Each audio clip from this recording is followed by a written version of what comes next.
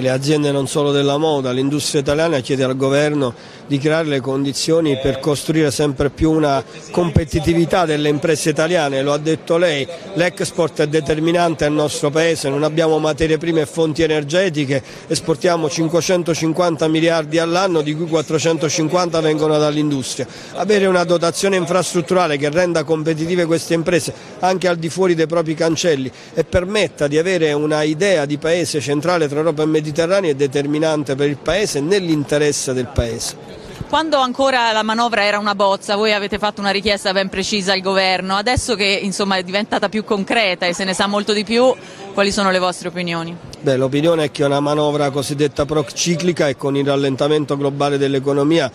potrebbe non avere la crescita auspicata dal governo e quindi occorrono elementi compensativi, lo abbiamo detto da tempo, per esempio a partire dall'apertura dei cantieri piccoli, medi e grandi che genererebbero occupazione e crescita.